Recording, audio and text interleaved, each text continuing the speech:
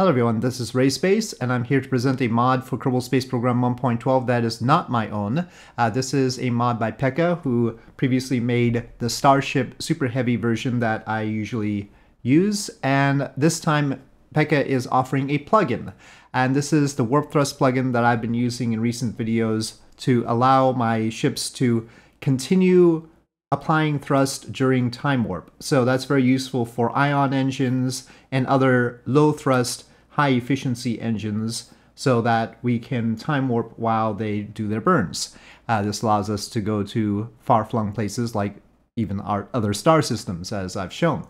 Uh, it is something that other plugins had done before, like persistent thrust, and I used to use KSP Interstellar for this because it has its own implementation of the same idea, but uh, Pekka's version is much more reliable as far as I can tell. So I think this is a very good thing and will finally allow people to use ion engines efficiently. I don't know how well it'll work with like Principia or anything. I haven't tried that yet. Uh, so you download this zip and this includes more than just the DLL, which is the plugin. What we see inside is a folder called Pekka's Mods, which you will put into your game data folder. And then in parts, in the Falcon 9 folder, it has the Starlink satellite because Starlink has ion engines. It has Krypton ion engines. And so Pekka decided to use Starlink as the test subject for the warp thrust module. And otherwise, the module, the real thing that you need is this plugin here. So you could conceivably, if you want, just drop that into your folder and nothing else, and that would be enough when you configure engines for it, and you are going to have to configure which engines you want to use with it, uh, you will go into the configurations of that engine, whatever it is. It can be the RO configurations or it could be the main configuration. So you can use this in stock as well, presumably. And all you need to do is add this to it somewhere at the bottom. So module, curly bracket, name equals warp thrust, close curly bracket and we'll see what that does in a moment. So that's all you need, nothing else. It doesn't have to be RO, uh, and that will give you the warp thrust mod. And as long as you have SAS on, you will be able to apply thrust during time warp.